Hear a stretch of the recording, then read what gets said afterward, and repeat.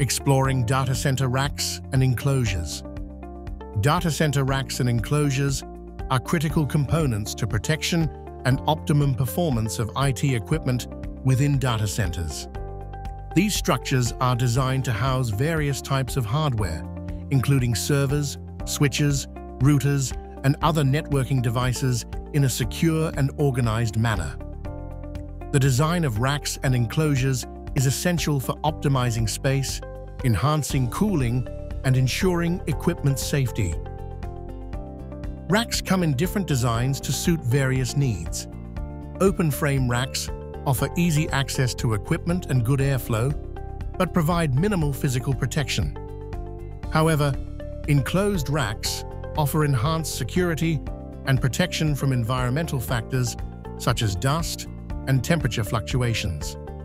Customized racks can be tailored to meet specific requirements, accommodating unique hardware configurations and providing additional features such as integrated cooling systems or cable management.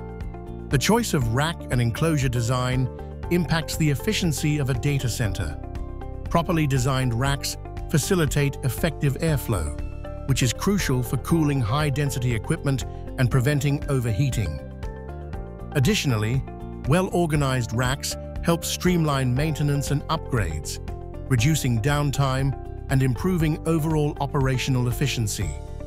As technology continues to advance, innovations in rack and enclosure designs aim to address evolving challenges and enhance the functionality of data center infrastructure.